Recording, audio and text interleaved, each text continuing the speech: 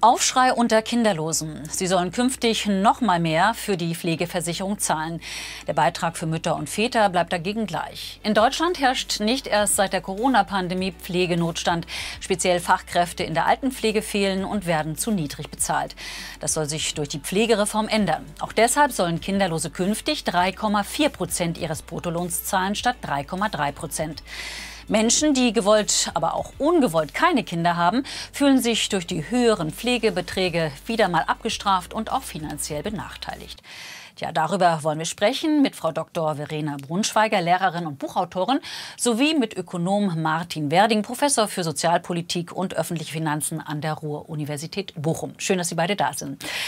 Ja, Frau Dr. Brunschweiger, Sie fühlen sich benachteiligt und bestraft. Als Kinderlose sollen Sie künftig noch mehr in die Pflegeversicherung einzahlen. Was genau stört Sie? Hm, ich habe vorhin wieder mit Leuten aus dem Volk gesprochen und die sagen mir alle, die auch entweder kinderfrei oder kinderlos sind, sie sind ja ohnehin schon die Melkkühe der Nation und äh, fühlen sich also in jeder Hinsicht ausgenommen wie Gänse ähm, wir zahlen eh schon 3,3 und nicht wie die Eltern 3,05 und jetzt soll es noch mal mehr werden, immer noch und noch und noch. Ähm, wieso eigentlich? Äh, wenn wir längst wissen, dass wir zum Beispiel äh, in die Klimakatastrophe schlittern mit dieser äh, exponentiell wachsenden Bevölkerung und so weiter und so fort. Also das ist das ähm, völlig falsche Signal meiner Ansicht nach. Mhm. Ähm, fragen wir mal nach bei Herrn äh, Werding. Äh, höhere Beträge für Kinderlose, ist das aus Ihrer Sicht gerechtfertigt? Ja, vielleicht zunächst mal, man muss die Kirche da ein bisschen im Dorf lassen. Nicht? Mit diesen 0,1 Prozentpunkten des Beitragssatzes geht es, je nachdem wie hoch das Einkommen ist, um Beträge zwischen 1,10 Euro und 4,80 Euro im Monat. Ähm, das ist jetzt vielleicht äh, ja, gerade weil es auch einkommensabhängig gestaffelt ist, nicht das große Problem. Es geht natürlich um das Grundsätzliche. Und da würde ich schon sagen, dieses Gefühl, Melkkuh der Nation zu sein, das ist weit verbreitet. Mhm. Familien ähm, haben nicht so unrecht das Gefühl, dass sie mit ihren Leistungen bei der Erziehung von Kindern unser Sozialsystem, die ganzen umlagefinanzierten Sozialversicherungssysteme stützen und fühlen sich daher auch ausgenommen. Herr Werding, bleiben wir gleich noch mal bei Ihnen. Es gibt ja viele Gründe für Kinderlosigkeit. Ist es nicht unangebracht, Menschen ohne Kinder politisch zu bestrafen? Ja, die Regelung hat natürlich zwei Seiten. Es geht nicht darum, Kinderlose zu bestrafen, sondern es geht umgekehrt darum, Menschen, die Kinder haben, hier ein Stück weit zu begünstigen, weil sie Aufwendungen, und die sind nicht gering für Kinder, ein Kind zu erziehen kostet, wenn wir Einkommensverzicht und dann auch die direkten Kosten zusammenzählen, also sicherlich so viel wie ein Luxusauto, sechsstellige Eurobeträge im Laufe der Jahre, die ein Stück weit dafür zu entlasten, äh, bei der Finanzierung eines umlagefinanzierten ähm, Sozialversicherungssystems, dessen Leistung, und das ist eine Besonderheit der Pflege, ja auch noch stark davon abhängen, ob man nun Kinder hat oder nicht. Ja, wer Kinder erzogen hat, ähm, nimmt später mit wesentlich geringerer Wahrscheinlichkeit die hohen Leistungen im Falle stationärer Pflege in Anspruch, sondern da wird viel mit häuslicher Pflege eben im Familienkreis geregelt. Und die Regelung hat auch gar nicht die Politik erfunden, sondern die wurde vom Verfassungsgericht mal eingefordert. Die genaue Umsetzung stammt dann von der Politik und ich finde sie auch gar nicht so wahnsinnig toll. Aber das Verfassungsgericht hat gesagt, dieser Beitrag, den Familien leisten zur Stützung des Sozialsystems, das muss sich in einer Ermäßigung des finanziellen Beitrags niederschlagen. Mhm. Ähm, Frau Brunschweiger, Sie sagten, in Ihrem Freundeskreis fühlen sich viele als Melkkühe der Nation. Nun handelt es sich ja bei dieser Erhöhung um 0,1 Prozent des Bruttolohns. Das sind ja vergleichsweise geringe Beträge.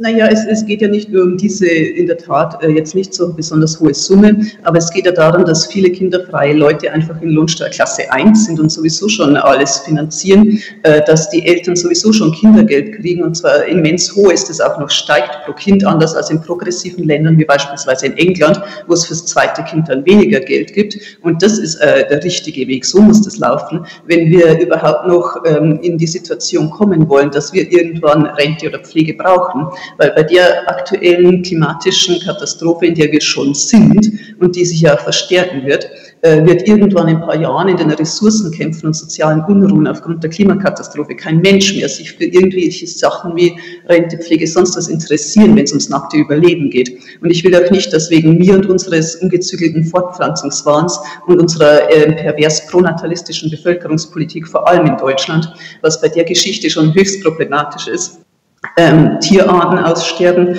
und alles total äh, den Bach runtergeht. Mhm. Ähm, was sagen Sie denn dazu, Herr Werding? Sie haben jetzt ein bisschen geschmunzelt.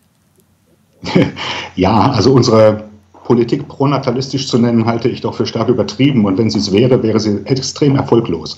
Ähm, wir sind ähm, aktuell in einer Situation, wo jede neue Generation bei uns zwei Drittel so groß ist wie die vorhergehende Generation. Im Grunde sind wir für die nächsten 20 Jahre eines der am stärksten alternden Länder der Erde, genau wegen dieses Geburtenrückgangs, gar nicht so sehr wegen der steigenden Lebenserwartung.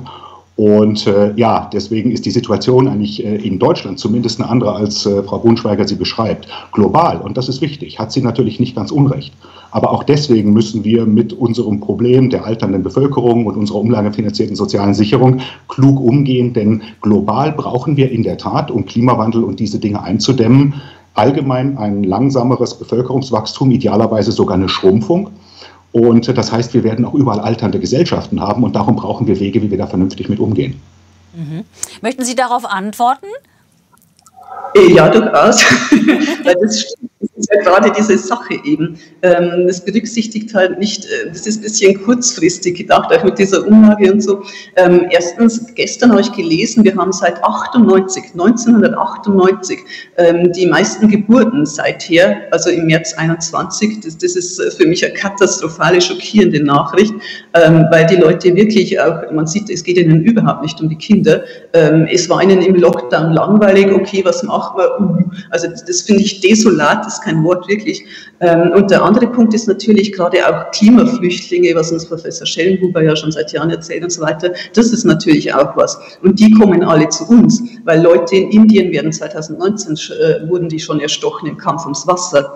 Und ich finde es auch ehrlich gesagt ein bisschen rücksichtslos gegenüber dem globalen Süden, wie wir uns hier aufführen. Und dann muss man eben äh, die Migranten auch stärker einbinden. Und äh, da kommen ja auch viele junge Leute. Und da kann man dann nicht sagen wie die AfD, okay, ihr müsst jetzt leider draußen bleiben. Und wir haben hier unser nationalstaatliches Denken und das wollen wir auch in der Klimakrise und wenn eh schon alles äh, nicht mehr funktioniert, aber daran halten wir auf dem untergehenden Schiff fest, auf Biegen und Brechen, das finde ich einfach völlig falsch.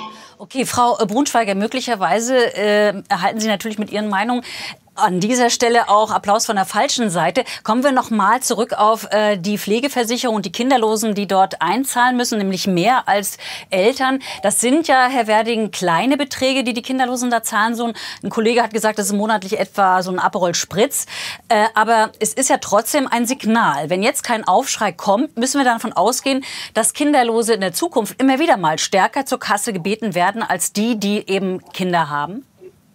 Genau. Ich will ungern so in diese Diskussion darüber einschwenken, wer jetzt eigentlich vom Staat mehr ausgenommen wird, Familien oder Kinderlose. Wie gesagt, verfolgt fühlen sich da beide Seiten.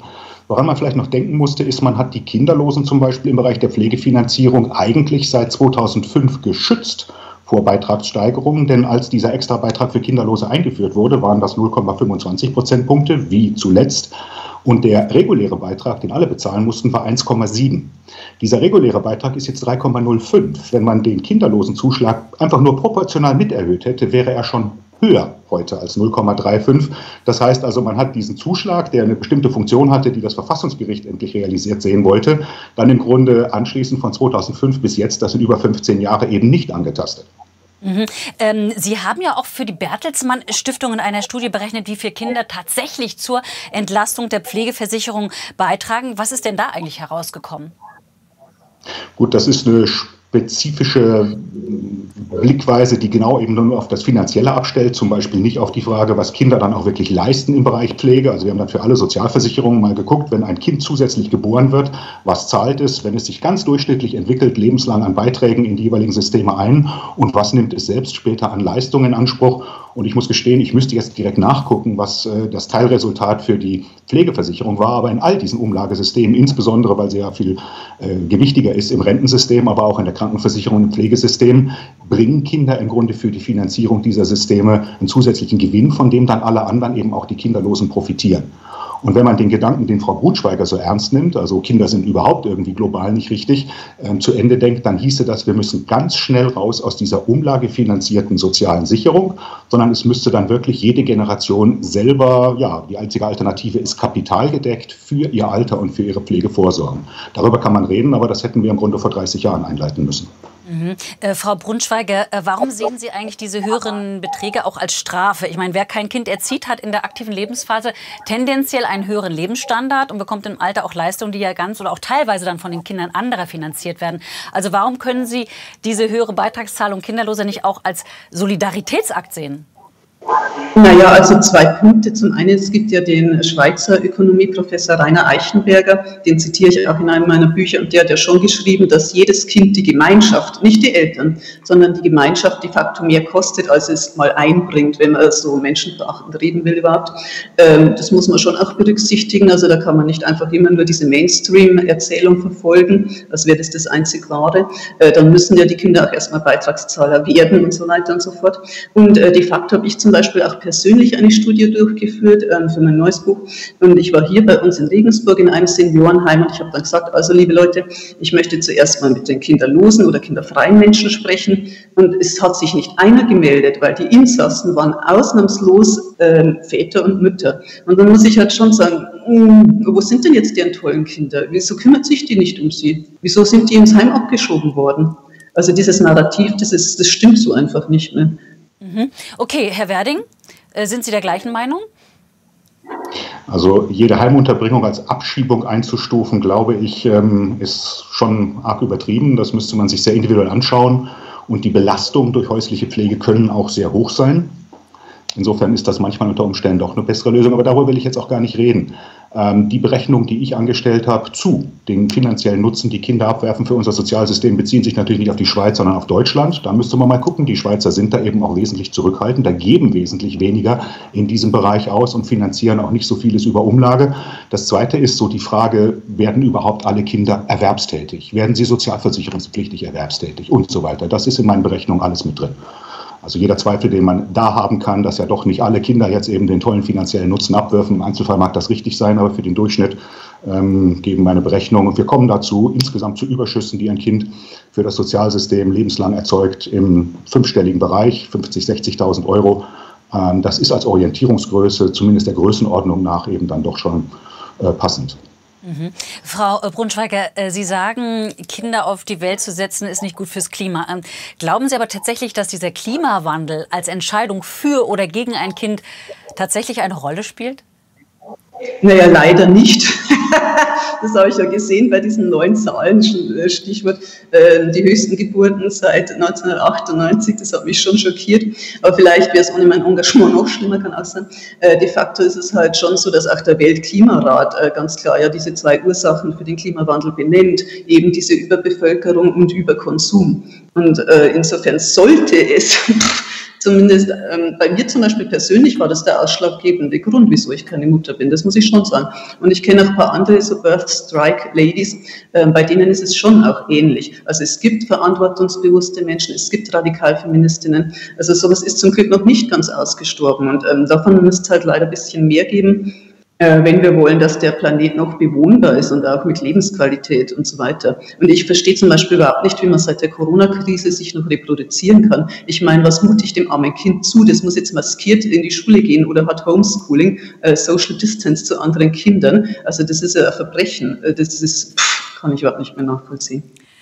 Gut, ähm, Herr Werding, ähm, wir haben vorhin gehört, Kinderlose, die meinen ja auch, äh, dass die Misswirtschaft der Pflegepolitik, und darum geht es ja vor allen Dingen auch, dass man diese Pflegepolitik anders regeln wollte, dass man die auf Menschen ohne Kinder abwälzt. Sie sagen, die Politik hätte, wenn dann möglicherweise die Weichen auch schon viel früher anders stellen müssen. Aber der Bund zahlt ja auch noch mal eine Milliarde Euro dazu. Das haben wir jetzt äh, auch mal an dieser Stelle erwähnt.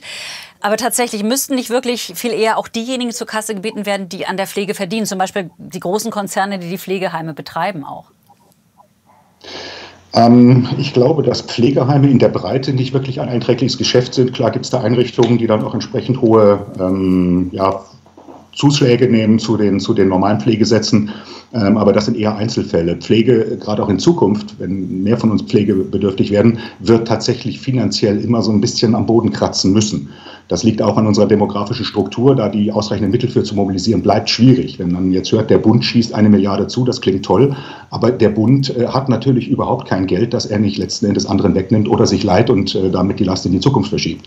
Ja, das heißt also auch das will letzten Endes durch irgendwen finanziert sein, ähm, durch Familien, auch durch Kinderlose natürlich und deren Steuern oder am Ende dann durch die Kinder selber.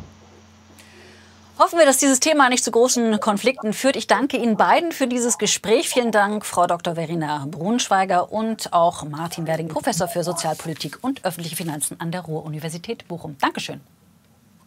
Bitte sehr. Tschüss.